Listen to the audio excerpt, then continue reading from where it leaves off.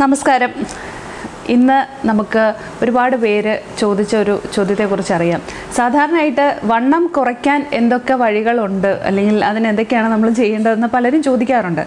അതാണ് കൂടുതൽ പേരും ചോദിക്കുന്നത്. പക്ഷേ ഈ ഈയിടെയായിട്ട് കുറേ പേര് ചോദിക്കുന്നുണ്ട് വണ്ണം കുറയ്ക്കുന്നത് പോലെ തന്നെ. വണ്ണം വയ്ക്കാൻ എന്ത് ചെയ്യണം? എന്ത് ചെയ്തിട്ടും വണ്ണം വയ്ക്കുന്നില്ല എന്ന് പലരും പറയാറുണ്ട്. അപ്പോൾ പ്രത്യേകിച്ച് ഒരു ടീനേജ് ഒക്കെ കഴിയുമ്പോൾ നമുക്ക് ഡ്രസ്സും കാര്യങ്ങളും ഒക്കെ ഒരുപാട് ഫാഷൻസ് ഒക്കെ ട്രൈ ചെയ്യുമ്പോഴാണ് അങ്ങനെ വണ്ണം വയ്ക്കുന്നില്ല എന്നൊരു പരാതി സാധാരണ കണ്ടുവരുന്നത്. അപ്പോൾ ഈ വണ്ണം വയ്ക്കാതിരിക്കുമ്പോൾ സാധാരണ എന്താ ചെയ്യുന്നത്? എപ്പോഴും ചെയ്യുന്നത് കുറച്ച് ജങ്ക് ഫുഡ് കഴിക്കുക അല്ലെങ്കിൽ കുറച്ച് വറുത്തതും പൊരിച്ചതും കുറച്ച് ഫാറ്റി ആയിട്ടുള്ള ആഹാരം കൂടുതലായിട്ടും ഡയറ്റിൽ ഉൾപ്പെടുത്തുക. ഇതൊക്കെയാണ് നോർമലി ചെയ്യാറുള്ളത്. പക്ഷേ ഇതൊരിക്കലും ഹെൽത്തി ആയിട്ടുള്ള ഒരു രീതിയല്ല. അത് ശാശ്വതവുമല്ല. അത് നമുക്ക് പലതരത്തിലുള്ള ലൈഫ് സ്റ്റൈൽ ഡിസീസ് അതായത് നമുക്ക് ജീവിതശൈലി രോഗങ്ങൾ വരാൻ ഹാർട്ടിന് കംപ്ലയിന്റ് വരാനും ഡയബറ്റീസിലേക്ക് പോകാനും ഒക്കെയുള്ളൊരു സാധ്യത നമുക്ക് പ്രായമാകും തോറും ഇങ്ങനെയുള്ള ഡയറ്റ് ശീലിച്ചു കഴിഞ്ഞാൽ വരും. പിന്നെ എന്താണ് ചെയ്യേണ്ടത്? അപ്പോൾ നമ്മൾ ഹെൽത്തി ആയിട്ട് എങ്ങനെ നമുക്ക് വെയിറ്റ് ഗെയിൻ ചെയ്യാം? അതിന് ഉള്ള ഒരു ഡെയിലി റുട്ടീൻ ഏതൊക്കെ ഭക്ഷണം ഉൾപ്പെടുത്തണം? ഏതൊക്കെ നമ്മൾ ഒഴിവാക്കണം? ഇതേക്കുറിച്ചാണ് നമ്മൾ ഇന്നത്തെ വീഡിയോയിലൂടെ പറയുന്നത്. അപ്പോൾ എങ്ങനെയാണ് നമുക്ക് ഹെൽത്തി ആയിട്ട് വെയിറ്റ് ഗെയിൻ ചെയ്യാൻ പറ്റുന്നതെന്ന് നമുക്ക് കേൾക്കാം. അപ്പോൾ ആദ്യമായിട്ട് നമ്മൾ അറിയേണ്ട ഒരു കാര്യം. വെയിറ്റ് ഗെയിൻ എന്ന് പറയുന്നത് ഒരാഴ്ച കൊണ്ടോ രണ്ടാഴ്ച കൊണ്ടോ ഒരു മാസം കൊണ്ടോ ഒന്നും നമ്മൾ നേടിയെടുക്കാൻ പറ്റുന്ന ഒരു കാര്യമല്ല. ഞാൻ ഈ പറഞ്ഞത് ഹെൽത്തി ആയിട്ടുള്ള ഒരു വെയിറ്റ് ഗെയിൻ അതല്ലാതെ നമുക്ക് പലതരത്തിലുള്ള ഷേക്സ് അതുപോലെ പ്രോട്ടീൻ കൂടുതൽ അടങ്ങിയ കാര്യങ്ങളൊക്കെ വെച്ചിട്ട് ജങ്ക് ഫുഡ് ഉപയോഗിച്ചുകൊണ്ട് ചോക്ലേറ്റ്സ് ഉപയോഗിച്ചുകൊണ്ട് ഒരുപാട് സ്വീറ്റ്സ് ഉപയോഗിച്ചുകൊണ്ടൊക്കെ ഒരുപാട് പേര് വെയിറ്റ് പെട്ടെന്ന് കൂട്ടാനായിട്ട് നോക്കുന്നുണ്ട്. അപ്പോൾ അതൊന്നും അല്ലാത്ത ഒരു രീതിയാണ് നമ്മൾ ആദ്യം തന്നെ പിന്തുടരേണ്ടത്. അപ്പോൾ നമ്മൾ എന്തൊക്കെയാണ് നമ്മുടെ ഡയറ്റിൽ ഉൾപ്പെടുത്തേണ്ടത്? ഏറ്റവും പ്രധാനമായിട്ടും നമ്മൾ ശ്രദ്ധിക്കേണ്ട ഒരു കാര്യം പ്രോട്ടീൻ ഇൻടേക്ക് കൂട്ടുക. അതായത് നമ്മൾ കഴിക്കുന്ന പ്രോട്ടീൻ അടങ്ങിയ ഭക്ഷണത്തിന്റെ അളവ് കൂട്ടുക എന്നുള്ളതാണ്. അപ്പോൾ ഏതൊക്കെയാണ് പ്രോട്ടീൻ കൂടുതൽ അടങ്ങി നമ്മൾ ദൈനംദിന ജീവിതത്തിൽ കഴിക്കുന്ന ഭക്ഷണം? നമുക്കറിയാം പയറ് അതുപോലെ കടല പിന്നെ മീനുകൾ ഫിഷ് അത് ഏറ്റവും ചെറിയ മുള്ളുള്ള ചെറിയ മീനുകളാണെങ്കിൽ നമ്മുടെ ആരോഗ്യത്തിനും കുറച്ചുകൂടി നല്ലതായിരിക്കും. അതുപോലെ മീറ്റ് മീറ്റിലിപ്പോൾ നമുക്ക് ചിക്കൻ ഒക്കെ ഉൾപ്പെടുത്താം. ലീൻ മീറ്റ് ഏത് വേണമെങ്കിലും അതായത് കൊഴുപ്പ് കുറഞ്ഞ ഏത് ഇറച്ചി വിഭവം വേണമെങ്കിലും നമുക്ക് ഉൾപ്പെടുത്താം. പക്ഷെ വണ്ണം വയ്ക്കാൻ വേണ്ടി എല്ലാ ദിവസവും ഇറച്ചി കഴിക്കുക ആ ഒരു രീതിയിലേക്ക് പോകാൻ പാടില്ല. നമുക്ക് മീൻ എല്ലാ ദിവസവും നമ്മുടെ ഡയറ്റിൽ ഉൾപ്പെടുത്താം. അതുപോലെ സ്നാക്കിങ്ങിനായിട്ട് അതായത് ഇടനേരങ്ങളിൽ നമുക്ക് കഴിക്കാൻ വേണ്ടിയിട്ട് പയർ പുഴുങ്ങിയതോ കടല പുഴുങ്ങിയതോ ഒക്കെ നമ്മുടെ ഡയറ്റിൽ നമുക്ക് ഉൾപ്പെടുത്താൻ സാധിക്കും. അപ്പോൾ നമ്മൾ ആദ്യം പറഞ്ഞത് പ്രോട്ടീനെ കുറിച്ചാണ്. അപ്പോൾ എന്തിനാണ് പ്രോട്ടീൻ കഴിക്കുന്നത്? നമ്മൾ പ്രോട്ടീൻ കഴിക്കുമ്പോൾ നമ്മുടെ കോർ മസിൽസിന്റെ അതല്ലെങ്കിൽ നമ്മുടെ ബോഡിയുടെ സ്ട്രെങ്ത് കുറച്ചൊന്ന് വർദ്ധിക്കുകയാണ് ചെയ്യുന്നത്. വെറും ഒരു ഫാറ്റ് ഡെപ്പോസിഷനോ അല്ലെങ്കിൽ ആ രീതിയിലല്ലാതെ നമുക്ക് ആരോഗ്യപരമായ രീതിയിലേക്ക് നമ്മുടെ വണ്ണത്തിന് അല്ലെങ്കിൽ നമ്മുടെ സൈസിനെ ഒന്ന് കൂട്ടിക്കൊണ്ടുവരാനായിട്ട് സാധിക്കും. അല്ലാത്ത പക്ഷം നമ്മൾ ഡയറ്റ് നിർത്തുന്ന സമയത്ത് അല്ലെങ്കിൽ നമ്മൾ ഈ ഫാറ്റി ഫുഡ് കട്ട് ചെയ്യുന്ന സമയത്ത് വണ്ണം അതുപോലെ പോകുന്ന ഒരു കാഴ്ച നമ്മൾ കാണാറുണ്ട്. ഇനി നമ്മൾ പ്രോട്ടീൻ കഴിഞ്ഞ് കഴിഞ്ഞാൽ അടുത്ത് നമ്മൾ ചെയ്യേണ്ടത് കാർബോഹൈഡ്രേറ്റ്സ് ആണ്. നമുക്കറിയാം നമുക്ക് ഏറ്റവും അത്യാവശ്യം വേണ്ടത് പ്രോട്ടീൻ കാർബോഹൈഡ്രേറ്റ് ആണ്. ഈ പ്രോട്ടീന്റെ കാര്യം പറഞ്ഞപ്പോൾ തന്നെ നമ്മൾ ഉഴുന്ന് കടല പരിപ്പ് ഇങ്ങനെയുള്ള കാര്യങ്ങൾ കൂടുതലായിട്ട് ഡയറ്റിൽ ഉൾപ്പെടുത്താൻ പറഞ്ഞു. ഇനി കാർബോഹൈഡ്രേറ്റിലേക്ക് വരുമ്പോൾ നമുക്ക് കേരളീയർക്ക് ഏറ്റവും പ്രധാനപ്പെട്ട ഒരു വിഭവമാണ് അരി അരിയാഹാരം എന്ന് പറയുന്നത്. നമ്മൾ ഉച്ചയ്ക്ക് എല്ലാവരും മിക്കവാറും എല്ലാവരും ചോറ് കഴിക്കുന്നവരാണ്. അതിൽ തന്നെ ബ്രൗൺ റൈസ് കൂടുതൽ ഉൾപ്പെടുത്തുകയാണെങ്കിൽ നമ്മുടെ ചമ്പാവരി ചോറ് ഉൾപ്പെടുത്തുകയാണെങ്കിൽ കുറച്ചും കൂടെ ഹെൽത്തി ആയിരിക്കും. അതുപോലെ പിന്നെ എന്തൊക്കെയാണ്? പൊട്ടറ്റോസ് നമുക്ക് നമ്മുടെ ഉരുളക്കിഴങ്ങ് അതുപോലെ സ്വീറ്റ് പൊട്ടറ്റോസ് എന്താണ്? മധുരക്കിഴങ്ങ് പോലെയുള്ള കാര്യങ്ങൾ ഇതൊക്കെ കൂടുതൽ കാർബോഹൈഡ്രേറ്റ് കണ്ടന്റ് ഉണ്ടെങ്കിൽ പോലും നമ്മുടെ ശരീരത്തിന്റെ വെയിറ്റിനെ ഗെയിൻ ചെയ്യാനായിട്ട് നമ്മളെ നന്നായിട്ട് സഹായിക്കും. ഇതൊരു ഒരു ഗ്രാജുവലായിട്ട് അത് ഒരു ദിവസം ഇതെല്ലാം കൂടെ കഴിക്കുക അങ്ങനെയല്ല ഇത് ഓരോ പോർഷനായിട്ടാണ് കഴിക്കേണ്ടത്. അപ്പോൾ അത് എങ്ങനെയാണ് ആ പോർഷനായിട്ട് കഴിക്കേണ്ടതെന്ന് നമ്മൾ വീഡിയോയുടെ കുറച്ച് കഴിയുമ്പോൾ നമ്മൾ പറയും. അപ്പോൾ നമ്മൾ എന്തൊക്കെ പറഞ്ഞു? പ്രോട്ടീനെ കുറിച്ച് പറഞ്ഞു കാർബോഹൈഡ്രേറ്റിനെ കുറിച്ച് പറഞ്ഞു. അപ്പോൾ ചോറ് ഗോതമ്പ് പോലെയുള്ള കാര്യങ്ങൾ കൊണ്ടുണ്ടാക്കിയ വിഭവങ്ങൾ. അതുപോലെ തന്നെ നമുക്ക് വൈറ്റമിൻസും മിനറൽസും അത്യാവശ്യം വേണ്ട കാര്യമാണ്. അതിന് വേണ്ടിയിട്ട് നമ്മൾ ഫ്രൂട്ട്സും വെജിറ്റബിൾസും ഉൾപ്പെടുത്തുക. അപ്പോൾ ഈ ഫ്രൂട്ട്സ് ചില ആൾക്കാർ ചോദിക്കാറുണ്ട് വണ്ണം വയ്ക്കുന്നവരാണ് കൂടുതലും ചോദിക്കുന്നത്. അപ്പോൾ ഞാൻ ഫ്രൂട്ട്സ് കഴിക്കും പക്ഷേ എന്നിട്ടും എന്റെ വെയിറ്റ് ഗെയിൻ ചെയ്യുന്നു അത് എന്തുകൊണ്ടാണെന്ന് ചോദിക്കും. ചില ഫ്രൂട്ട്സ് കഴിക്കുമ്പോൾ നമുക്ക് വെയിറ്റ് ഗെയിൻ ഉണ്ടാവും. അതൊരു വലിയൊരു ഡ്രാസ്റ്റിക് ഒരു ഗെയിൻ ഒന്നുമല്ല പക്ഷെ നമ്മൾ ലുക്ക് വൈസ് നമ്മളൊന്ന് നന്നായതായിട്ട് നമുക്ക് തോന്നും. കവളൊക്കെ ഒന്ന് തൊടുത്ത് വരും. കുറച്ചും കൂടെ ചബ്ബിയായിട്ട് ഫീൽ ചെയ്യും. അപ്പോൾ അങ്ങനെയുള്ള ഫ്രൂട്ട്സ് ഏതൊക്കെയാണെന്ന് വെച്ചാൽ നമുക്ക് നമ്മുടെ സ്വന്തം ചക്കപ്പഴം. അതുപോലെ തന്നെ മാമ്പഴം ഏത്തപ്പഴം പിന്നെ ചിക്കു. പൈനാപ്പിൾ ഇങ്ങനത്തെയുള്ള ഫ്രൂട്ട്സ് കൂടുതലായിട്ട് കഴിച്ചു കഴിഞ്ഞാൽ നമുക്ക് കുറച്ച് ശരീരം കുറച്ച് നന്നാക്കാൻ ആഗ്രഹിക്കുന്നവർക്ക് കുറച്ച് നല്ലതാണ്. അപ്പോൾ ഈ ഫ്രൂട്ട്സ് എല്ലാം ബാക്കി ഫ്രൂട്ട്സ് നമുക്ക് ഉൾപ്പെടുത്താം കേട്ടോ. ഈ ഫ്രൂട്ട്സ് കൂടുതലായിട്ട് ഉൾപ്പെടുത്തുക. അതുപോലെ ഇതൊരു ഡെയിലി ബേസിലാണ് കുറച്ച് കുറച്ച് പോർഷനായിട്ട് നമ്മൾ ഉൾപ്പെടുത്തേണ്ടത്. അതുപോലെ തന്നെ വെജിറ്റബിൾസ്. അപ്പോൾ വെജിറ്റബിൾസിനകത്ത് നമ്മൾ എല്ലാ വെജിറ്റബിൾസും നമ്മൾ കഴിക്കാറുണ്ട്. എന്നാലും ട്യൂബ് അതായത് ഭൂമിക്കടിയിലുണ്ടാവുന്ന വെജിറ്റബിൾസ് ആണെങ്കിൽ അതിന് ഗുണം കൂടുതൽ. ഇപ്പം നമുക്കറിയാം ക്യാരറ്റ് അതുപോലെ തന്നെ ബീട്രൂട്ട്സ്. ഇത് നമ്മുടെ സ്കിന്നിനും ഹെയറിനും നല്ലതാകുന്നത് പോലെ തന്നെ നമ്മുടെ വെയിറ്റ് ഗെയിൻ ചെയ്യാനും നമ്മളെ സഹായിക്കുന്നുണ്ട്. പിന്നെ കാർബോഹൈഡ്രേറ്റിന്റെ കാര്യം പറഞ്ഞപ്പോൾ വിട്ടുപോയ ഒന്നാണ് കപ്പ കപ്പക്കിഴങ്ങിന്റെ കാര്യം നമ്മൾ പറഞ്ഞു. കാർബോഹൈഡ്രേറ്റ് നമ്മൾ കൂടുതലായിട്ട് വേണം എന്ന് ആഗ്രഹിക്കുന്നവർക്ക് നമുക്ക് ഇത് കഴിക്കാം. കപ്പ എന്ന് ചീനി എന്നൊക്കെ നമ്മൾ പറയാറുണ്ട് ഓരോ നാട്ടിലും ഓരോ ഭാഷ. അപ്പോൾ അത് നമുക്ക് ഉൾപ്പെടുത്താം. അതുപോലെ തന്നെ നട്ട്സ് നട്ട്സ് എപ്പോഴും നമുക്ക് ഒരു എന്ന് പറയുക ഒരു ചെറിയ പോർഷൻ ആണെങ്കിൽ പോലും വലിയ ഒരു എനർജിയുടെ ഒരു സോഴ്സാണ് അപ്പോൾ അത് ഒരുപാട് ഭക്ഷണം കഴിക്കുന്നതിനെക്കാട്ടിലും നമുക്ക് എനർജി തരുന്ന പ്രോട്ടീൻ കണ്ടന്റ് കൂടുതലുള്ള ഒമേഗ ത്രീ ഫാറ്റി ആസിഡ് കൂടുതലുള്ള നമ്മുടെ ബോഡിക്കും ബ്രെയിനിനും കൂടുതൽ ആക്ടിവിറ്റീസിൽ സഹായിക്കുന്ന ഒന്നാണ് നട്ട്സ് നട്ട്സ് എന്ന് പറയുമ്പോൾ നമുക്ക് കാഷ്യൂനട്ട് ഉണ്ട് ആമണ്ട്സ് അതായത് ബദാം അണ്ടിപ്പരിപ്പ് വാൾനട്ട്സ് ആപ്രിക്കോട്ട്സ് ഇങ്ങനത്തെ എന്ത് നട്ട്സ് വേണമെങ്കിലും നമുക്ക് ഉപയോഗിക്കാം. നമ്മുടെ സ്വന്തം കപ്പലണ്ടി ഇതെല്ലാം നട്ട്സിൽ വരുന്നതാണ്. അത് പ്രോട്ടീന്റെ ഒരു റിച്ച് സോഴ്സാണ് നേരത്തെ പറഞ്ഞതുപോലെ. അപ്പോൾ നട്ട്സ് നമ്മുടെ ഡയറ്റിൽ ഉൾപ്പെടുത്താനായിട്ട് നോക്കുക. ഇപ്പോൾ എപ്പോഴും നമ്മൾ നട്ട്സ് ആയാലും അതുപോലെ തന്നെ ഇപ്പം ബീൻസ് ആയാലും കടലയായാലും പയറായാലും ഒക്കെ നമ്മുടെ ഒരു ക്വാണ്ടിറ്റി എന്ന് പറയുന്നത് ഒരു ക്ലച്ചാണ് ഒരു പിടി എന്നുള്ളതാണ് നമ്മുടെ കണക്ക്. അത് മറ്റ് അസുഖങ്ങളൊന്നും ഇല്ലാത്തവരുടെ ഒരു കണക്കാണ്. ഉണ്ടെന്നുണ്ടെങ്കിൽ തീർച്ചയായിട്ടും നിങ്ങളൊരു ഡയറ്റീഷ്യന്റെ അടുത്ത് കൺസൾട്ട് ചെയ്തിട്ട് വേണം. ഡയറ്റീഷ്യൻ അല്ല നിങ്ങൾ ഏതെങ്കിലും കൺസൾട്ട് ചെയ്യുന്ന ഡോക്ടറിന്റെ അടുത്ത് കൺസൾട്ട് ചെയ്തിട്ട് വേണം. നിങ്ങൾ നിങ്ങൾക്ക് എന്തെങ്കിലും ആരോഗ്യ പ്രശ്നങ്ങളുണ്ടെങ്കിൽ ഇത് ഫോളോ ചെയ്യാനായിട്ട്. അപ്പോൾ മറ്റ് പ്രശ്നങ്ങളൊന്നുമില്ല വെയിറ്റ് ഗെയിൻ മാത്രം ഉദ്ദേശിക്കുന്നവർക്ക് ഇത് മതി. അപ്പോൾ ഇത്രയും കാര്യങ്ങൾ പറഞ്ഞു. ഇനി എന്താണ്? അടുത്ത് നമ്മൾ ചെയ്യേണ്ടത് ഡയറി പ്രോഡക്ട്സ് ആണ്. ഡയറി പ്രോഡക്ട്സ് എന്ന് പറയുമ്പം പാൽ പാൽ ഉൽപ്പന്നങ്ങൾ. അതിനകത്ത് നമുക്ക് ഹെൽത്തി ആയിട്ട് ചെയ്യാൻ പറ്റുന്ന ഹോൾ ഫാറ്റ് മിൽക്ക് അതായത് പാൽ അങ്ങനെ തന്നെ എടുത്ത് ഉപയോഗിക്കുക. ഇപ്പോൾ അത് പാടയൊന്നും മാറ്റാതെ അങ്ങനെ സ്കിംഡ് അല്ലാത്ത അതായത് കൊഴുപ്പ് കളയാത്ത പാൽ അല്ലാത്ത ഹോൾ ഫാറ്റ് മിൽക്ക് എടുക്കാം. അതുപോലെ തന്നെ ബട്ടർ ചീസ് നെയ്യ് ഇങ്ങനത്തുള്ള കാര്യങ്ങൾ അമിതമായിട്ടല്ല ഒരു ഡെയിലി ബേസിൽ കുറച്ച്. അതുപോലെ പനീർ പോലുള്ള കാര്യങ്ങളൊക്കെ നമുക്ക് ഡെയിലി ബേസിൽ കുറച്ചായിട്ട് ഉൾപ്പെടുത്താം. അപ്പോൾ അതിൽ നിന്ന് നമുക്ക് പ്രോട്ടീൻ കിട്ടും കാൽഷ്യം കിട്ടും അത്യാവശ്യം മിനറൽസും വൈറ്റമിൻസും എല്ലാം കിട്ടും. അതുപോലെ ആണ് എഗ്ഗിന്റെ ഒരു കാര്യം മുട്ട. മുട്ടയും നമ്മുടെ ഡയറ്റിൽ നമ്മൾ ഉൾപ്പെടുത്താനായിട്ട് നോക്കുക. ഏതൊക്കെ ഫുഡ് കഴിക്കണം എന്നതിനെക്കുറിച്ച് പറഞ്ഞു? ഇനി ഏറ്റവും പ്രധാനപ്പെട്ട ഒരു കാര്യം പറയേണ്ടത് എക്സസൈസിനെ കുറിച്ചാണ്. അപ്പോൾ പലപ്പോഴും വണ്ണം കുറയ്ക്കാൻ വേണ്ടിയിട്ട് നമ്മൾ പല രീതിയിലുള്ള എക്സസൈസ് റെഗുലറായിട്ട് ചെയ്യുന്നതിനെ കുറിച്ച് പറയാറുണ്ട്. അതുപോലെ തന്നെ പ്രധാനപ്പെട്ട ഒരു കാര്യമാണ് വണ്ണം കൂട്ടാൻ വേണ്ടിയിട്ടും നമ്മൾ ശ്രദ്ധിച്ച് എക്സസൈസ് ചെയ്യുക എന്നുള്ളത്. അതിനകത്ത് പലരും ചോദിക്കാറുണ്ട് വണ്ണം കുറയ്ക്കാൻ വേണ്ടി എക്സസൈസ് ചെയ്യുന്നത് ഫാറ്റ് റിഡക്ഷന് വേണ്ടിയിട്ടാണ്. പക്ഷേ എന്താണ് ഈ വണ്ണം കൂട്ടുന്നതിന് വേണ്ടിയിട്ട് നമ്മൾ എക്സസൈസ് ചെയ്താൽ ഇനി ഉള്ള വണ്ണം കൂടി കുറഞ്ഞു പോകത്തില്ലേ? ഉള്ള ഫാറ്റും കൂടെ ശരീരത്തിൽ നിന്ന് പോയി പോകത്തില്ലേ എന്നുള്ളൊരു പേടി ഒരുപാട് പേർക്കുണ്ട്. അപ്പോൾ ഇത് തികച്ചും ഒരു തെറ്റായ ധാരണയാണ്. ശരിക്കും പറഞ്ഞാൽ നമുക്ക് റെഗുലറായിട്ടൊരു എക്സസൈസ് പാറ്റേൺ വണ്ണം കൂട്ടാൻ ആഗ്രഹിക്കുന്നെങ്കിൽ ആവശ്യമാണ്. എന്തുകൊണ്ട്? അപ്പം നമുക്കറിയാം ഈ വണ്ണം വയ്ക്കാതിരിക്കുക എന്ന് പറയുന്നത് നമ്മുടെ ശരീരത്തിലെ എന്തോ ഒരു മെറ്റബോളിസത്തിന് എന്തെങ്കിലും പ്രശ്നമായിരിക്കാം. ദഹന പ്രക്രിയയിലെ എന്തെങ്കിലും മാറ്റം കൊണ്ടായിരിക്കാം. അതല്ലെങ്കിൽ നമ്മുടെ വയറിനകത്ത് ഏതെങ്കിലും ഓർഗൻസിന്റെ സെക്രീഷൻസ് കറക്റ്റ് ആവാത്തത് കൊണ്ടായിരിക്കാം ഇങ്ങനെ തുടങ്ങി ഹോർമോൺസുമായിട്ട് ബന്ധപ്പെട്ടതും അല്ലാത്ത മസിൽസും ബാക്കിയുള്ള കാര്യങ്ങളായിട്ട് ബന്ധപ്പെട്ട ഒരുപാട് കാര്യങ്ങൾ ഇതിന്റെ പിന്നിലുണ്ട്. അപ്പോൾ ഈ നമ്മുടെ ശരീരത്തിന്റെ അതായത് പുറമേ ഉള്ളൊരു ബലം മാത്രമല്ല ആന്തരികമായിട്ടുള്ളൊരു ആരോഗ്യം കൂടി ഉണ്ടെങ്കിൽ മാത്രമേ ഈ ദഹന പ്രക്രിയയും ബാക്കിയുള്ള കാര്യങ്ങളും വിശപ്പൊക്കെ കറക്റ്റഡ് ആവത്തുള്ളൂ. അപ്പോൾ അതിന് വേണ്ടിയിട്ട് നമുക്കൊരു കറക്റ്റ് എക്സസൈസ് വളരെ അത്യാവശ്യമാണ്. അപ്പോൾ ഈ എക്സസൈസ് പാറ്റേണിൽ തന്നെ ഏത് എക്സസൈസ് ആണ് ചെയ്യേണ്ടതെന്ന് പലരും ചോദിക്കാറുണ്ട്. അപ്പോൾ അതിനെക്കുറിച്ച് പറയുമ്പോൾ ഞാൻ പേഴ്സണലി റെക്കമെൻഡ് ചെയ്യുന്നത് യോഗാസനയാണ്.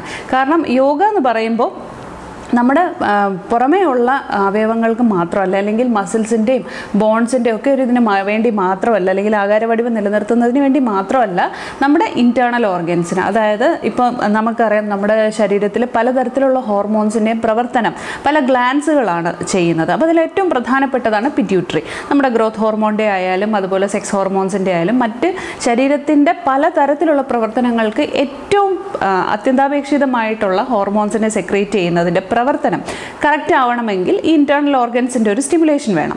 അതിന് പലപ്പോഴും യോഗ നമ്മളെ നന്നായിട്ട് സഹായിക്കുന്നുണ്ട്. ഇപ്പം ഉദാഹരണമാണെങ്കിൽ നമുക്ക് തൈറോയിഡിനെ പറയാം.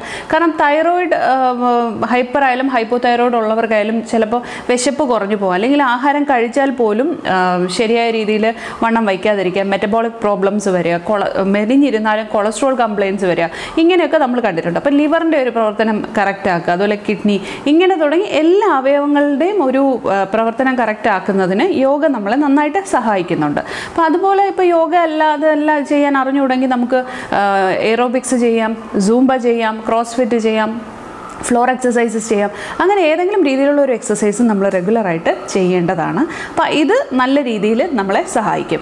ഇനി എന്തുകൊണ്ടാണ് വണ്ണം കുറയുന്നത് എന്നറിയേണ്ടത് വളരെ പ്രധാനമാണ്. അപ്പോൾ നമുക്ക് പലപ്പോഴും ഏറ്റവും ആദ്യം നമ്മൾ ചോദിക്കുന്നത് ഒരു പാരമ്പര്യ ഘടകമാണ്. വീട്ടിൽ ആരെങ്കിലും ഈ രീതിയിലുള്ള ശരീരപ്രകൃതം പണ്ട് ഉണ്ടായിരുന്നു? ഇപ്പോൾ അച്ഛൻ അമ്മ അപ്പൂപ്പൻ അമ്മമ്മ അല്ലെങ്കിൽ വീട്ടിൽ ആർക്കെങ്കിലും ഈ ഒരു പ്രായത്തിൽ ഇങ്ങനെയാണോ ഇരുന്നത് നമ്മൾ പലപ്പോഴും ചോദിക്കാറുണ്ട്. അപ്പോൾ ചിലപ്പോൾ അങ്ങനെയാണ് ഇരുന്നതെന്ന് പറഞ്ഞു കഴിഞ്ഞാൽ പാരമ്പര്യ ഘടകമുള്ള ഒരാൾക്ക് കൂടുതലൊന്നും നമുക്ക് ചെയ്യാൻ പറ്റത്തില്ല. ആ ഒരു പ്രായം എത്തുമ്പോഴത്തേക്കും വണ്ണം വെച്ച് വരും. അതിനുവേണ്ടി ഹെൽത്തി ഫുഡ് കഴിക്കുക എന്നുള്ള റെക്കമെൻഡേഷൻ മാത്രമേ നമുക്ക് പറയാൻ പറ്റുള്ളൂ. പിന്നെ പ്രത്യേകിച്ച് ഇപ്പോൾ പുരുഷന്മാരുടെ കാര്യത്തിലാണ്. പുരുഷന്മാരാണെങ്കിൽ ഒരു മുപ്പതോ അല്ലെങ്കിൽ മുപ്പത്തിരണ്ട് വയസ്സൊക്കെ ആകുമ്പോൾ ഓട്ടോമാറ്റിക്കായിട്ട് നമ്മൾ ആഹാര ശൈലിയൊക്കെ കറക്റ്റ് ചെയ്ത് കഴിഞ്ഞാൽ വണ്ണം വയ്ക്കുന്ന അതുപോലെ തന്നെ ശ്രദ്ധിക്കേണ്ട ഒരു കാര്യം നമുക്ക് എന്തെങ്കിലും ഹോർമോൺ ഇംബാലൻസുകളുണ്ടോ നേരത്തെ പറഞ്ഞതുപോലെ തൈറോയ്ഡ് കംപ്ലയിൻസ് എന്തെങ്കിലും ഉണ്ടോ?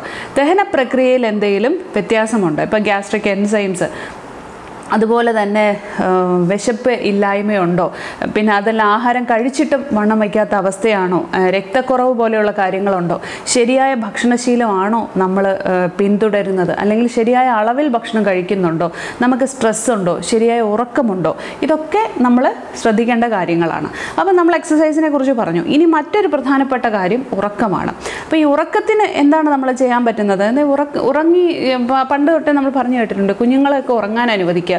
ഉറക്കത്തിലാണ് കുട്ടികൾ വളരുന്നത്. അല്ലെങ്കിൽ ഉറങ്ങിയാലേ വളരൂ എന്ന് പലപ്പോഴും പറയാറുണ്ട്. ഇത് ശരിക്കും പറഞ്ഞാൽ മുതിർന്നവരുടെ കാര്യത്തിലും കറക്റ്റാണ് കാരണം നമ്മുടെ ബ്രെയിൻ ആയാലും ബോഡി ആയാലും ഒക്കെ ഒരു റിജുവനേഷൻ അല്ലെങ്കിൽ ഒരു പുനരുജ്ജീവനം നടക്കുന്ന ഒരു സമയമാണ് ഉറക്കം എന്ന് പറയുന്നത്. അപ്പോൾ ഈ ശരിയായ രീതിയിൽ ഒരു അഡൾട്ട് ആണെങ്കിൽ നമുക്ക് ഒരു ഏഴ് തൊട്ട് എട്ട് മണിക്കൂർ വരെ. ഒരു മിനിമം ഒരു ആറ് മണിക്കൂറെങ്കിലും നമുക്ക് ഉറക്കം വേണം. അത് ശരിയായ രീതിയിലുള്ള ഒരു ഉറക്കമാണെങ്കിൽ നമുക്ക് കുറച്ച് സ്ട്രെസ് റിലീവ് ചെയ്യാനും ശരീരത്തിനെ ഒന്ന് മെച്ചപ്പെടുത്തിയെടുക്കാനും നമുക്ക് സഹായിക്കും.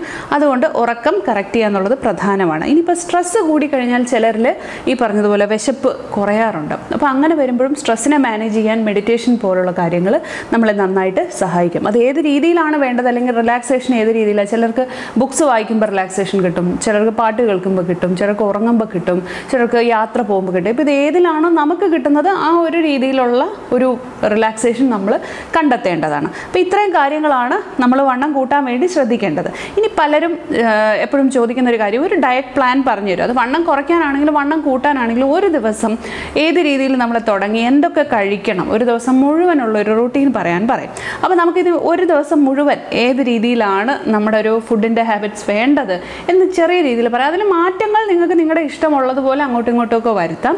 ഏതെങ്കിലുമൊക്കെ ഉൾപ്പെടുത്തണേ ഉൾപ്പെടുത്താം ഒഴിവാക്കണേ ഒഴിവാക്കാം. അത് അവരവരുടെ ഇഷ്ടം. ഇതൊരു ജനറൽ ഒരു ഡയറ്റാണ് നമ്മൾ ഇനി കേൾക്കാൻ പോകുന്നത്. ഇനി വണ്ണം കൂട്ടാൻ വേണ്ടിയിട്ട് നമ്മൾ ഒരു ദിവസം പിന്തുടരേണ്ട ഡയറ്റിനെ കുറിച്ചാണ് നമ്മൾ പറയാൻ പോകുന്നത്. രാവിലെ ഉണർന്നു കഴിഞ്ഞാൽ ആദ്യം തന്നെ ചെറു ചൂടുള്ള വെള്ളം കുടിക്കുക. നമുക്കറിയാം നമ്മുടെ ഡൈജഷൻ പ്രോസസ്സിനെ കറക്റ്റ് ചെയ്യാൻ അല്ലെങ്കിൽ നമ്മുടെ രാവിലെ എഴുന്നേറ്റ് കഴിഞ്ഞാൽ മോഷനൊക്കെ കറക്റ്റായിട്ട് പോകാനും ആ പെരിസ്റ്റാലിറ്റിക് മൂവ്മെന്റ് ഒക്കെ ഒന്ന് കറക്റ്റ് ചെയ്യാനുമാണ്. നമ്മൾ ഇളം ചൂടുവെള്ളം കുടിക്കുക അല്ലെങ്കിൽ ചെറിയ ചായ കുടിക്കും കാപ്പി കുടിക്കും ഇതൊക്കെ ഒരു സ്റ്റിമുലന്റ് ആണ്. അപ്പോൾ അതിന് നമ്മളെ ഹെൽപ്പ് ചെയ്യുന്ന ഒരു കാര്യമാണ് ഈ ചൂടുവെള്ളം. അതല്ല ചായയോ അങ്ങനെ കഴിക്കുന്നുണ്ടെങ്കിൽ അങ്ങനെ കഴിക്കാം. പക്ഷെ നമ്മൾ ഇളം ചൂടുവെള്ളമാണ് റെക്കമെൻഡ് ചെയ്യുന്നത്. അപ്പോൾ അത് കഴിച്ചു കഴിഞ്ഞാൽ നമ്മുടെ വർക്കൗട്ടിലേക്ക് നമുക്ക് പോകാം. അത് ഏതെങ്കിലും രീതിയിൽ നേരത്തെ പറഞ്ഞതുപോലെ യോഗ എയറോബിക്സ് അല്ലെങ്കിൽ ക്രോസ് ഫിറ്റ് അല്ലെങ്കിൽ ജൂമ്പ ഇഷ്ടമുള്ള ഏതെങ്കിലും ഒരു എക്സസൈസ് അരമണിക്കൂറെങ്കിലും നമ്മൾ ചെയ്യുക. അത് ചെയ്തതിന് ശേഷം ശരീരം ഒന്ന് തണുത്തു കഴിഞ്ഞാൽ നമുക്ക് ഒരു ഷേക്ക് തയ്യാറാക്കാം. ഈ ഷേക്ക് എന്ന് പറയുന്നത് ഒരു കംപ്ലീറ്റ് ഫുഡ് എന്ന് പറഞ്ഞ് നമുക്കൊരു ബ്രേക്ക്ഫാസ്റ്റിന് മുമ്പ് അല്ലെങ്കിൽ പ്രീ ബ്രേക്ക്ഫാസ്റ്റ് എന്ന് പറഞ്ഞാൽ നമുക്ക് കഴിക്കാൻ പറ്റുന്ന ഒന്നാണ്. അപ്പോൾ അതിനകത്ത് നമ്മൾ ആദ്യം എടുക്കുന്ന ഏറ്റവും മെയിൻ ആയിട്ടുള്ള ഒരു കാര്യം ഹോൾ ഫാറ്റ് മിൽക്കാണ് അതായത് പാൽ കാച്ചി പാട മാറ്റാത്ത പാലെടുക്കാം. അപ്പോൾ ആ പാലെടുത്ത് വെച്ചതിന് ശേഷം നമ്മൾ പിന്നെ നമ്മൾ വിനോദത്ത് ഉപയോഗിക്കുന്നത്. ഇപ്പോൾ പാൽ എന്ന് പറയുമ്പോൾ തന്നെ അതിനകത്ത് പ്രോട്ടീൻ ഉണ്ട് കാൽഷ്യം ഉണ്ട് വൈറ്റമിൻസ് മിനറൽസ് എല്ലാ കാര്യങ്ങളും പാലിനകത്ത് അടങ്ങിയിരിക്കുന്നു. അപ്പോൾ അതുകൊണ്ട് തന്നെ അതൊരു കംപ്ലീറ്റ് ഫുഡെന്ന് വേണമെങ്കിൽ നമുക്ക് പറയാം പാലിനെ. ഇനി അതിനുശേഷം നമുക്ക് നട്ട്സ് എടുക്കാം. നട്ട്സ് എന്ന് പറയുമ്പം പ്രോട്ടീന്റെയും ഒമേഗ ത്രീ ഫാറ്റി ആസിഡിന്റെയും ഏറ്റവും വലിയൊരു കലവറയാണ്. നട്ട്സ് ഏത് ഫോമിൽ കഴിച്ചാലും ഇപ്പം നമ്മൾ റോസ്റ്റ് ചെയ്ത് കഴിച്ചാലും അല്ലാതെ കഴിച്ചാലും ഒക്കെ നല്ലതാണ്. പക്ഷേ ഇതിനകത്ത് നമുക്ക് സാധാരണ നട്ട്സ് എടുക്കാം. അതിനകത്ത് തന്നെ വാൾനട്ട്സ് എടുക്കാം. കാഷ്യൂനട്ട് അണ്ടിപ്പരിപ്പ് എടുക്കാം കപ്പലണ്ടി എടുക്കാം അതുപോലെ ആമൻസ് എടുക്കാം നമ്മുടെ ബദാം. ഇത് ഇതിലേത് നട്ട്സ് വേണേൽ എടുക്കാം. ഇനി ഇതെല്ലാം കുറേശ്ശെ കുറേശ്ശെ വേണമെങ്കിലും എടുക്കാം. ഇത് നമ്മുടെ ബ്രെയിനിന്റെ അതായത് നമ്മുടെ ബ്രെയിനിന്റെ പ്രവർത്തനത്തിനെ സഹായിക്കുകയും ചെയ്യും. നമ്മുടെ ശരീരത്തിലെ ആന്റി ഓക്സിഡൻസ് ആയിട്ടത് വർക്ക് ചെയ്ത് നമ്മുടെ ഏജിങ് പ്രോസസ്സിന് അതായത് ശരീരം പെട്ടെന്ന് വയസ്സായി പോകുന്ന ഒരു കാര്യത്തെ ഇത് ചെറുത് നിർത്തുകയും ചെയ്യും. പ്രോട്ടീന്റെയും വലിയൊരു സോഴ്സാണ് സോ മസിൽ ബിൽഡ് ചെയ്യാനും നമ്മളെ നന്നായിട്ട് അത് ഹെൽപ്പ് ചെയ്യും. മസിൽ എന്ന് പറഞ്ഞാൽ ഭയങ്കര മസിലൊന്നും വരത്തില്ല. പക്ഷേ മസിൽ സ്ട്രെങ്തനിങ്ങിന് നല്ലതാണ്. അപ്പോൾ നട്ട്സ് എടുത്തു. നട്ട്സിന് ശേഷം പിന്നെ നമുക്ക് ഏതെങ്കിലും രീതിയിലുള്ളൊരു ഫ്രൂട്ട് എടുക്കാം. അത് ഇപ്പം പഴമായിരിക്കാം അതിപ്പോൾ ഏത്തപ്പഴം എടുക്കാം. അതല്ലെന്നുണ്ടെങ്കിൽ നമുക്ക് നമുക്ക് ഇഷ്ടമുള്ള ഏതെങ്കിലും പഴം എടുക്കാം. അത് മാങ്ങ എടുക്കാം. അങ്ങനെ ഏത് വേണേൽ എടുക്കാം. ഒഴിവാക്കേണ്ട പഴങ്ങൾ ഇപ്പോൾ പൈനാപ്പിൾ ഒഴിവാക്കുക ഓറഞ്ച് ഒഴിവാക്കുക ഈ ഒരു ഷേക്ക് അടിക്കുന്ന കാര്യത്തിന് വേണ്ടിയിട്ട് പാളയംകോടൻ പഴം ഒഴിവാക്കുക. ഈ മൂന്ന് കാര്യങ്ങൾ ഒഴിവാക്കി കഴിഞ്ഞാൽ എന്ത് വേണേൽ നമുക്ക് ഏത് പഴം വേണേൽ എടുക്കാം. അതിനുശേഷം മധുരത്തിന് വേണ്ടി പഞ്ചസാര ഉപയോഗിക്കാതിരിക്കുക. പഞ്ചസാര ഒരു കാരണവശാലും നിങ്ങൾ ഈ ഒരു ഇതിന് വേണ്ടി ഉപയോഗിക്കരുത്. മധുരം ആവശ്യമുണ്ടെങ്കിൽ നമുക്ക് തേൻ ഉപയോഗിക്കാം. അതും ഒരു ടീസ്പൂണിന് മുകളിൽ തേൻ നമുക്ക് ആവശ്യമില്ല. അപ്പോൾ ഇതെല്ലാം കൂടെ മിക്സ് ചെയ്ത് നന്നായിട്ട് മിക്സിയിലൊന്ന് അടിച്ചെടുത്ത് കഴിഞ്ഞാൽ നല്ലൊരു ഷേക്കാവും. അപ്പോൾ ആ ഷേക്ക് ഒരു ഗ്ലാസ് നമ്മൾ രാവിലെ തന്നെ കുടിക്കുക. അതിനുശേഷം ഈ ഒരു ഷേക്കിനും ബ്രേക്ക്ഫാസ്റ്റിനും ഇടയ്ക്ക് ഒരു ഒരു മണിക്കൂറെങ്കിലും സമയം വേണം. ഇല്ലെന്നുണ്ടെങ്കിൽ ഷേക്ക് കുടിച്ചു കഴിഞ്ഞ് വയർ നിറയുന്നവരാണെങ്കിൽ പിന്നെ ബ്രേക്ക്ഫാസ്റ്റ് സ്കിപ്പ് ചെയ്യും. അപ്പോൾ അതുകൊണ്ട് ഇടയ്ക്ക് ഒരു മണിക്കൂർ സമയമുണ്ട്. ബാക്കിയുള്ള ആക്ടിവിറ്റീസും ഒക്കെ ചെയ്യുകയാണെന്നുണ്ടെങ്കിൽ നമുക്ക് കുറച്ചും കൂടെ ഒരു വിശപ്പ് ഫീൽ ചെയ്യും. അപ്പോൾ രാവിലത്തെ ബ്രേക്ക്ഫാസ്റ്റ് എന്ന് പറയുന്നത് ഒരിക്കലും നമ്മൾ തട്ടിക്കളയാൻ കളഞ്ഞുകൂടാത്തൊരു കാര്യമാണ്. പ്രധാനമായിട്ടും വിശപ്പില്ലാത്ത ആൾക്കാർ പൊതുവെ രാവിലെ ബ്രേക്ക്ഫാസ്റ്റ് കഴിക്കാറില്ല. അപ്പോൾ അതുകൊണ്ട് വേണ്ട എന്നുണ്ടെങ്കിൽ പോലും നമ്മൾ ആദ്യം ചെറിയ ചെറിയ ക്വാണ്ടിറ്റിയിൽ കഴിക്കുക. അപ്പോൾ നമ്മൾ കേരളീയരെ സംബന്ധിച്ചിടത്തോളം നമ്മുടെ പരമ്പരാഗത ഭക്ഷണമായ ഇഡലി ദോശ പുട്ട് കടല സാമ്പാർ ഇങ്ങനത്തെ ഉള്ള കാര്യങ്ങൾ അതൊരു കംപ്ലീറ്റ് ഫുഡ് തന്നെയാണ്. കാരണം ഇപ്പോൾ ദോശ എന്ന് പറയുമ്പം അരി ഉഴുന്നും കൂടെ അരച്ച് പ്രോട്ടീൻ ആൻഡ് കാർബോഹൈഡ്രേറ്റ് ആണ് സാമ്പാർ എന്ന് പറയുമ്പോൾ മിനറൽസ് ആൻഡ് വൈറ്റമിൻസ് എല്ലാത്തിന്റെ ഒരു കലവറയാണ്. ഇപ്പോൾ കടലക്കറി ആയാലും പ്രോട്ടീനാണ് അപ്പോൾ അത് ഇതെല്ലാം നമുക്കൊരു കംപ്ലീറ്റ് ആയിട്ട് കഴിക്കാൻ പറ്റുന്ന ഒന്നാണ്. അതിന്റെ ക്വാണ്ടിറ്റി ക്രമേണ കൊണ്ട് നമ്മൾ കൂട്ടുക. ഒരു ദിവസം കൊണ്ട് ഇപ്പം ഒരു ഒന്നോ ഒന്നരയോ ദോശ കഴിക്കുന്ന ഒരാളോട് മൂന്നോ നാലോ കഴിക്കാൻ പറഞ്ഞാൽ പറ്റത്തില്ല. പക്ഷേ പതുക്കെ പതുക്കെ ഓരോരോ ചെറു ഓരോ ദിവസങ്ങളായിട്ട് നമ്മൾ ചെറിയ രീതിയിൽ അതിനെ കൂട്ടി കൂട്ടി കൊണ്ടുവരിക. അപ്പോൾ അത് നമ്മൾ ശ്രദ്ധിക്കുക. അതിനുശേഷം ഒരു പതിനൊന്ന് മണിയാകുമ്പോഴത്തേക്കും അല്ലെങ്കിൽ ബ്രേക്ക്ഫാസ്റ്റ് കഴിഞ്ഞ് ഒരു ഒന്നൊന്നര രണ്ട് മണിക്കൂർ കഴിഞ്ഞിട്ട് നമുക്ക് ഫ്രൂട്ട് കട്ട്സ് കഴിക്കാം. അതൊരു ഇടനേരം നമ്മൾ കഴിക്കുന്ന ഒരു സ്നാക്ക് പോലെ നമുക്ക് കഴിക്കാം. ആ സമയത്ത് വണ്ണം വെച്ചോട്ടെ എന്ന് പറഞ്ഞ് വറുത്തതും പൊരിച്ചതും പോലുള്ള കാര്യങ്ങൾ ദയവായിട്ട് കഴിക്കാതിരിക്കുക. ജങ്ക് ഫുഡ്സ് ഒഴിവാക്കുക. അതിന് പകരം നമുക്ക് ഈ പുഴുങ്ങിയ കടല പുഴുങ്ങിയ പയർ അതെല്ലാം എന്നുണ്ടെങ്കിൽ ഈ ഫ്രൂട്ട് കട്ട്സ് ഇതെല്ലാം നമുക്ക് ആ ഒരു സമയത്ത് ഉപയോഗിക്കാം. അതിനുശേഷം ഉച്ചയ്ക്കത്തെ ഊണ്. ഊണിന് നമ്മൾ എടുക്കുമ്പോൾ വണ്ണം കുറയ്ക്കാൻ നമ്മൾ പറയാറുണ്ട്. ചെറിയ പാത്രം എടുക്കുക കുറച്ച് ചോറ് ക്വാണ്ടിറ്റി എടുക്കുക അങ്ങനെയൊക്കെ പറയാറുണ്ട്. പക്ഷേ വണ്ണം കൂട്ടാൻ വേണ്ടി പറയുമ്പോൾ വലിയ പാത്രത്തിൽ നമ്മൾ എടുക്കുക അതുപോലെ ഓരോ ദിവസവും ഈ പറഞ്ഞതുപോലെ ക്വാണ്ടിറ്റി കൂട്ടി കൂട്ടി കൊണ്ടുവരാനായിട്ട് നമ്മൾ നോക്കുക. അതിനകത്ത് കാർബോഹൈഡ്രേറ്റ് എന്ന് പറയുമ്പോൾ നമുക്കറിയാം നമ്മുടെ ചോറ് നമ്മൾ കേരളീയർ ഏറ്റവും കൂടുതൽ ഇഷ്ടപ്പെടുന്ന അല്ലെങ്കിൽ കഴിക്കുന്ന ഒരു ഭക്ഷണമാണ്. ഉച്ചയ്ക്ക് നിർബന്ധമായിട്ടും ചോറ് കഴിക്കാൻ പറ്റുമെങ്കിൽ അങ്ങനെ അല്ലെങ്കിൽ ചപ്പാത്തി ആയാലും അതിന്റെ ഒരു അളവ് കൂട്ടുക. ഒന്നോ ഒന്നര കഴിക്കുന്നെങ്കിൽ രണ്ടോ രണ്ടര മൂന്ന് അങ്ങനെയൊക്കെ പതുക്കെ പതുക്കെ ചെയ്യുക. ഇലക്കറികൾ ധാരാളം കഴിക്കുക. കാരണം ഫൈബറാണ് ഫൈബർ ആകുമ്പോൾ ഡൈജഷൻ പ്രോസസ്സിനെ അത് കറക്റ്റ് ചെയ്യും. അപ്പോൾ നമുക്ക് കൂടുതൽ വിശപ്പ് തോന്നും. അതുപോലെ കഴിക്കുന്ന സമയത്ത് ചെറിയ ചെറിയ മീൽസ് ആയിട്ട് കഴിക്കാനായിട്ട് നോക്കുക ഞാൻ പറഞ്ഞ ഇതുപോലെ ഡിവൈഡ് ചെയ്ത് കഴിച്ചാലും കുഴപ്പമില്ല. ഒരുപാട് ഭക്ഷണം ഒരുമിച്ച് കഴിക്കുന്നതിനെക്കാട്ടിലും ചെറിയ ചെറിയ മീൽസ് ആയിട്ട് കഴിക്കുക ഇനി ഒരു വൈകുന്നേരത്ത് ചായയുടെ കൂടെ നമുക്ക് എന്തെങ്കിലും സ്നാക്സ് കഴിക്കുന്ന ശീലമുണ്ടെങ്കിൽ ഇപ്പം റോസ്റ്റ് ചെയ്ത കടലയോ അല്ലെങ്കിൽ റോസ്റ്റ് ചെയ്ത കപ്പലണ്ടി ഇങ്ങനെയുള്ള കുറച്ച് ന്യൂട്രീഷ്യസ് ആയിട്ടുള്ള കാര്യങ്ങൾ നമുക്ക് കഴിക്കാം. ആ സമയത്ത് ജങ്ക് ഫുഡ് ഒഴിവാക്കുക. അതുപോലെ തന്നെ രാത്രിയിലും രാത്രി കഴിക്കുന്ന ഭക്ഷണം ഒരു കംപ്ലീറ്റ് ഫുഡായിരിക്കണം.